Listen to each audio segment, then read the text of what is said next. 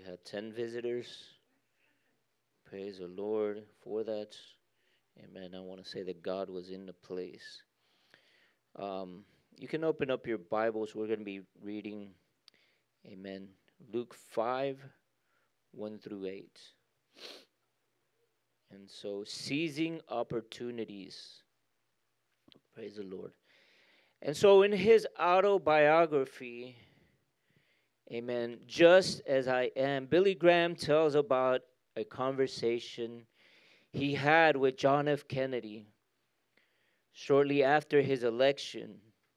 And so, on the way back to the Kennedy house, the president elect stopped the car and turned to me. Do you believe in the second coming of Jesus Christ? He asked. I most certainly do. Well, does my church believe it? They have it in their creed. They don't preach it, he said. They don't tell us much about it. I'd like to know what you think. I explain what the Bible says about Christ coming the first time, dying on the cross, rising from the dead, and then the promise that he would come back again. Only then I said, Are we going to have a permanent world peace? Amen. And so it's very interesting, he said, looking away. We'll, amen, have to talk more about it someday. And then he drove on. And so several years later, the two met again in 1963 at a national prayer breakfast. Billy Graham says that he had the flu. And so I gave my sh- short talk. And so he gave his, amen. And so we walked out of the hotel to his car together. And as always, our custom at the curb, amen, he turned to me. Billy, could you ride back to the White House with me? I'd like to see you for a minute. Mr. President, I've got a fever. I protested. protested. Not only am I weak, but I don't know, amen, I don't want to give you this thing. Could we wait till later and we can talk some other time? And so it was cold, snowy that day, and I was freezing as I stood there without my overcoat. Of course, he said graciously, but the two would never meet again. Later that year, Kennedy was shot dead. And so Graham comments, amen, his hesitation at the car door and his request haunt him till this day. And so, what was on his mind? Should I have gone with him? And so, it was an irreversible moment. And so, Billy Graham had the opportunity to minister to the president. And so, because he missed that open door, he was always left with a what if. And I want to say this evening that we as Christians, amen, have many opportunities Amen. To minister to people. Let's read our scripture. Luke 5 1 through 8 says this. So as the crowds was pressing into Jesus to hear God's word, he was standing by the lake. He saw the two boats at the edge of the lake, and the fishermen had left them and were washing their nets. He got into the boat which belonged to Simon, and he asked him to put out a little from the land. Then he sat down and was teaching the crowds from the boat. When he had finished speaking, he said to Simon, Put out into the deep water and let your nets down for a catch. Master, Simon replied, We've worked all night long and caught nothing. But if you say so, I will let down the nets. When they did this, they caught a great number of fish, and their nets began to tear. So they, amen, signaled to the other amen, partners in the other boats to come to help them. They came and filled the boats, amen, so full they began to sink.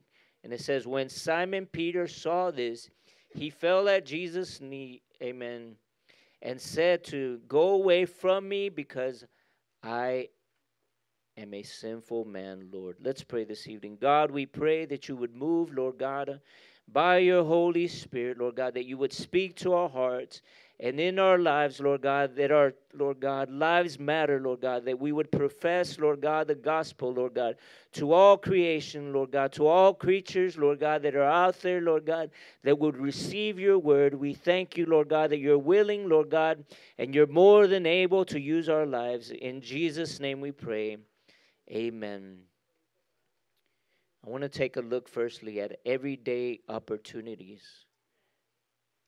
And so we, as believers, have been commissioned, amen, with the witness of the gospel to others. Matthew 28 19, go into all the world.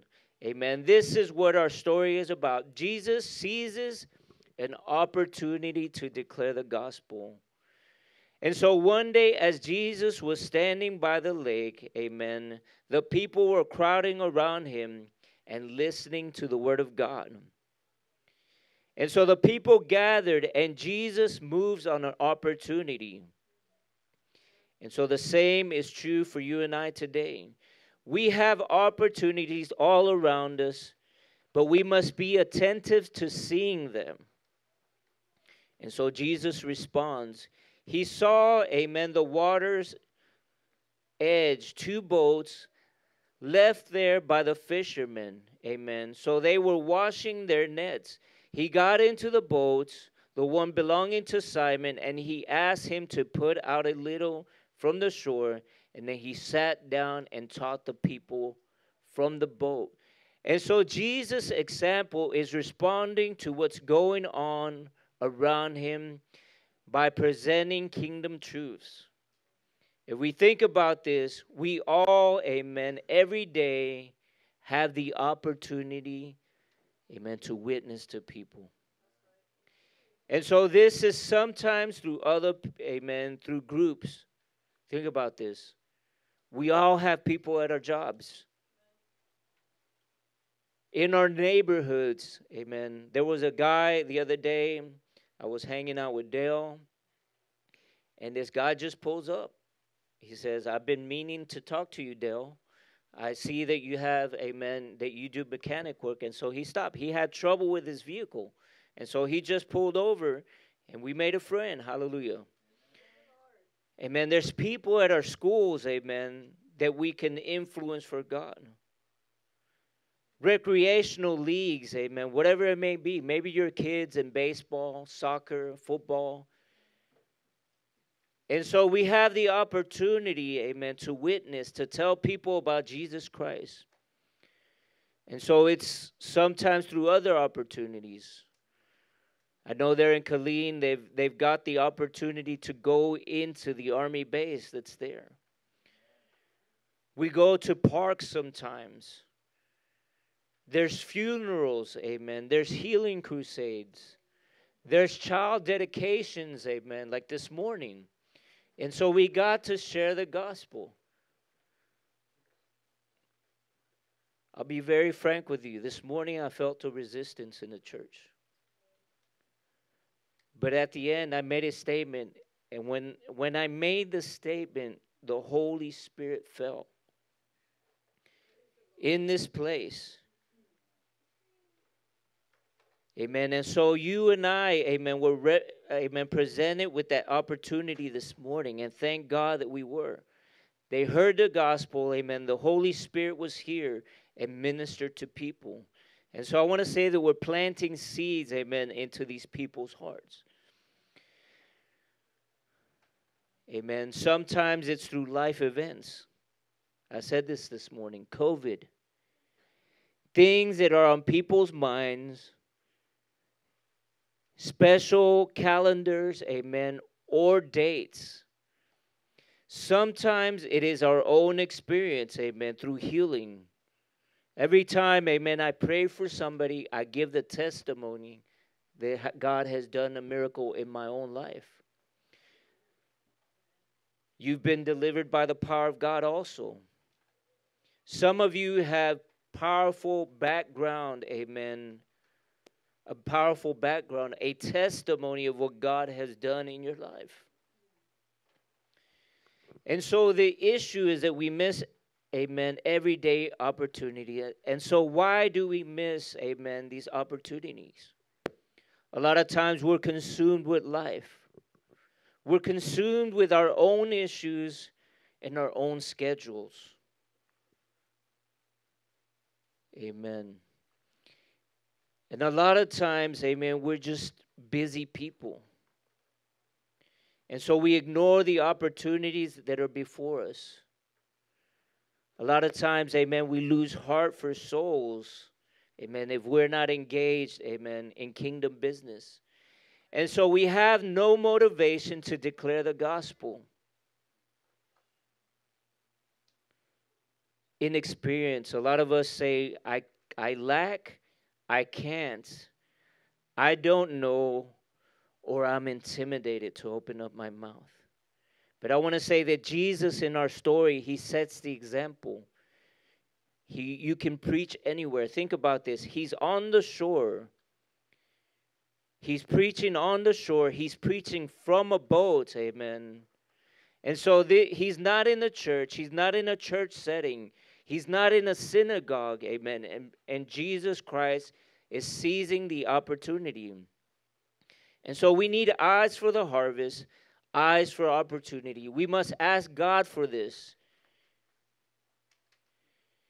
Amen. For the for a heart, amen, to work, amen, with people, for the desire of evangelism.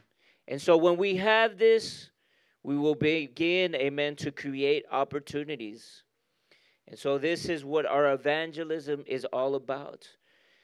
And so we need to create platforms, amen, to present the gospel to people. We'll do anything, amen, to present the gospel. We'll show a movie outside. We'll do a concert at the park. We'll do a concert inside the church. A lot of times we don't put on the flyer that it's a church to, to attract people, amen, to preach the gospel. And so we look for opportunities, amen, to extend God's kingdom.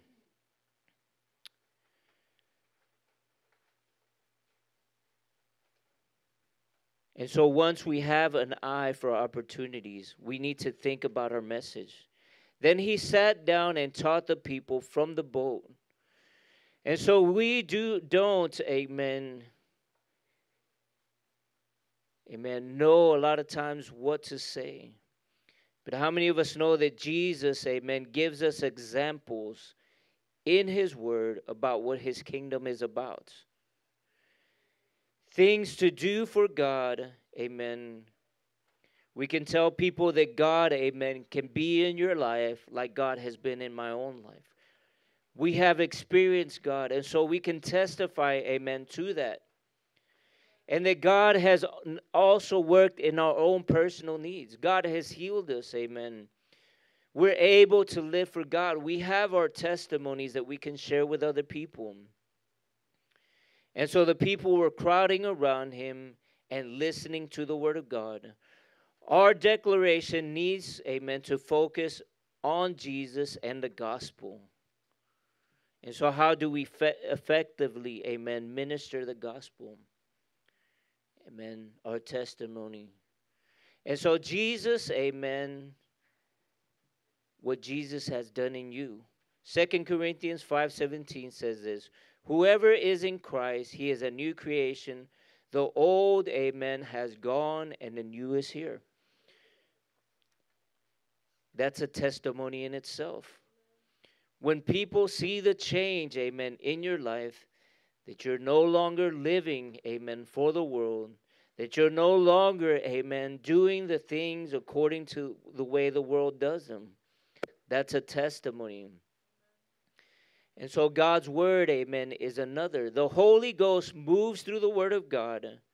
And so the people were crowded around him and listening to the word of God. Think about this. When you preach the word of God, when you testify, amen, it is God's Spirit that gets involved. Hebrew 4:12 says this. For the word of God is alive and active, sharper than any double-edged sword. Amen. It penetrates even to the dividing of the soul and the spirit, the joints and the marrow. It judges the thoughts and the attitudes of the heart. And so God's word, amen, does what it intends to do. A lot of times we try to rationalize, well, how are people going to get saved? How is this going to work out? Amen. And we don't get the Holy Spirit involved. God's Spirit, amen, is more than able to do, amen, what it needs to do to save a soul. The gospel, amen, Christ incarnated, Christ crucified, and the resurrection. And so the confidence of this is that it's something that God does supernaturally. It's not based on you, but on what God is. And so that's why it works. Amen. It works, amen, because we trust in God. If I were just here trusting in myself, amen, it would not work. But I put my trust in God. Mark 16 20 says this God worked with them. Then the disciples went out and preached everywhere. And then the Lord worked, amen, with that and confirmed his words, his word by signs, amen, that accompanied it. And so it's amazing to me, amen, when I think about it through the years, who got saved, amen, and where they got saved.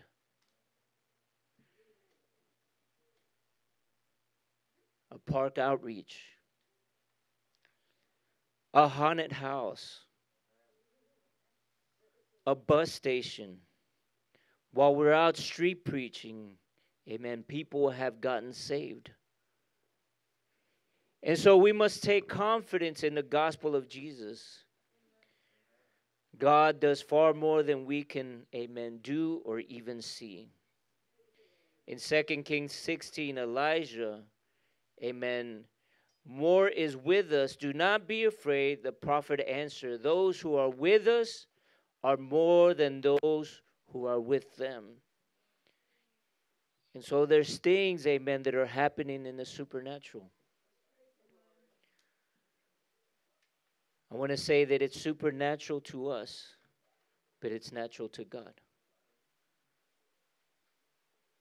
God is more than willing, amen. God is more than able, amen, to get involved when his people get involved.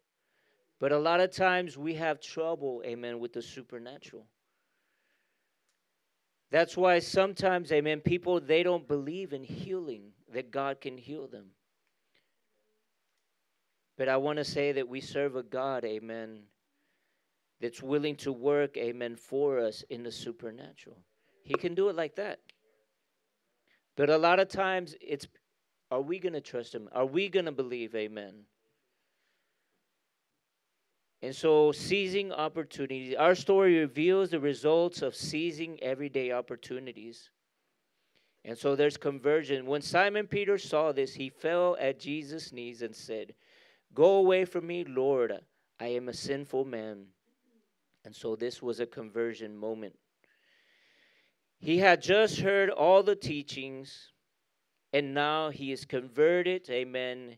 And so this is a declaration, amen, of what God can do. The miraculous. When they had done so, they caught such a large number of fish that their nets began to break. Think about this. Here is a miracle catch of fish but it could be in the physical, amen, in physical healing. It could be in a supernatural deliverance. It could be in the unseen internal wounds, amen, healing. Think about this. When people come into this place and the gospel is preached, sometimes they don't even raise their hands because they're, they're intimidated to come to an altar. But God is doing something in them supernaturally. Like I said, there was resistance. And once I made this statement, it's like the Holy Ghost came down. That resistance broke, amen. And there was something, I felt it this morning. God did something in the people that were present here.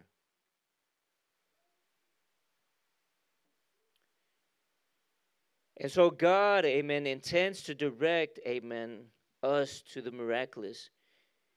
I want to say miracles should be a normal part of our salvation. Mark 16, 17 says this. Then signs shall follow, and these signs will be accompanied those who believe. In my name they will drive out demons, they will speak in new tongues. John 14, 12 says this. This is Jesus speaking. Greater works, very truly I tell you, whoever believes in me will do the works I have been doing. They will do even greater things, amen, than these, because I am going to be with my Father. And that's the power of the Holy Spirit that dwells within us, amen. Think about this. Jesus Christ said this about us. And so that's how much God is into doing, amen, his will or fulfilling his will upon earth. And so this can be, amen, the norm for Christian life. I want to say that God can use you. You look at the Bible, amen, in Second Kings, and there's four lepers, amen, that are, that are healed. You look at Philip, amen, in the Ethiopian, the declaration of the gospel. And so there's a supernatural conversion. And so you see this in Peter's life also. After he denies Jesus Christ, amen, the Holy Spirit falls. He preaches, he declares the gospel, and so the miraculous takes place. People get saved, they get baptized, and they get filled with the Holy Ghost. Over 3,000 people are present. Amen. And God does a miracle of salvation. And so I want to say that this is something that God can still do in 2021. And so keeping the biblical pattern in 2021 is possible.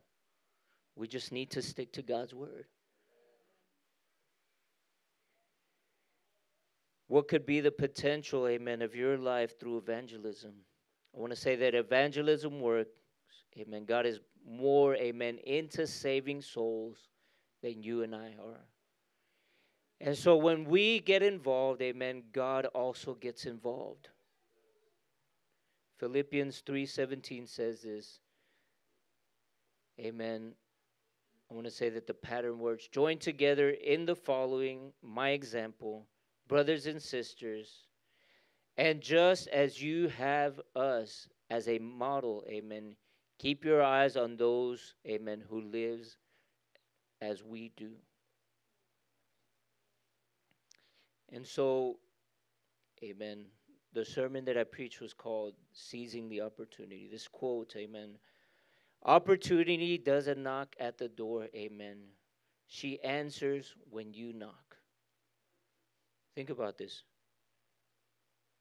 That we have to seek out for opportunity. Opportunity is not going to come to us. Opportunity does not knock on the door. She answers, amen, when we when you knock. Things happen, amen, when we're actively involved in God's kingdom. The supernatural happens. We prayed for Paul this morning. The gospel was preached. We laid hands on him. We prayed for him. He felt healed. And so we need to look, amen, for every opportunity that we can to preach the gospel. Amen. Can I have every head bowed and every eye closed this evening?